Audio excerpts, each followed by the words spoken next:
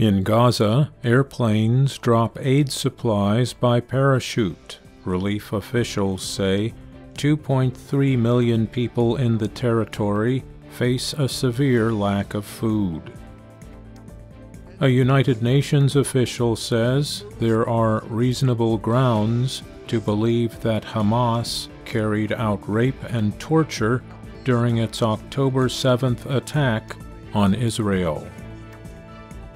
In the South China Sea, Chinese and Philippine Coast Guard boats crash into each other in the disputed Second Thomas Shoal area.